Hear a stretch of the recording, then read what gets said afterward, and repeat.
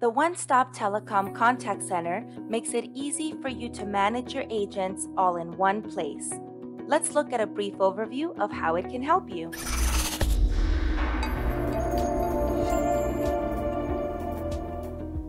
From the main screen, you'll be able to see your call center dashboard, your agents, various call queues that you are part of, as well as your reporting to see specific calls that you may need to research. From the call center dashboard, you'll observe a list of all the queues that you are part of, as well as any active calls and customers that are waiting in your queues. You can also see how many agents are online or idle meaning that they are not currently on a call.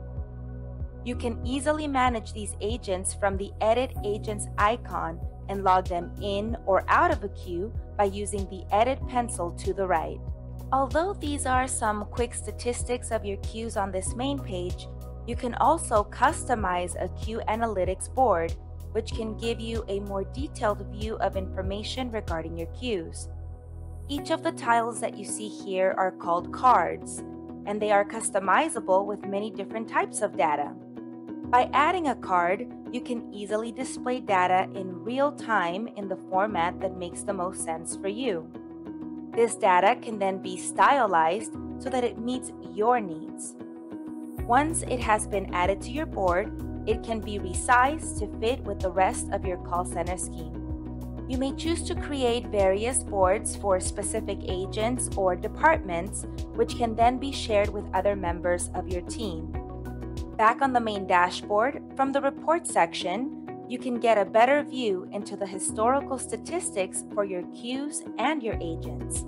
Here, you'll be able to see information such as the amount of calls handled, talk time, the average handling time, and much more. Just below the stats grid on the main dashboard, you'll be able to see a list of your agents that are online as well as whether or not they are in a call, as shown in red. If they are in a call, you can join that call by choosing to listen, whisper, or barge into the call directly. This can help you to improve your agent's customer service skills. Here in the Agent section, you'll be able to see a list of all your call center agents and manage their profiles to help them with their email, voicemail, and even create specific answering rules such as forwarding to another agent or queue so that they never miss a call. Although your company can upload customized music on hold, this section and the SIP trunk section are not editable by the call center supervisor so we'll skip those sections for now. The reporting section can give you information related to all your call center agents to show you what calls they have made and received. If you have call recording enabled, you'll be able to download those recordings here.